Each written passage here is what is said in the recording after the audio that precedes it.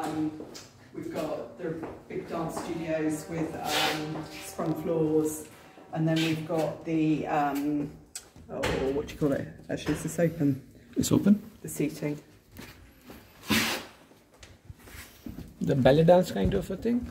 Uh, so we can, we can do performances Ah, in here as well. okay.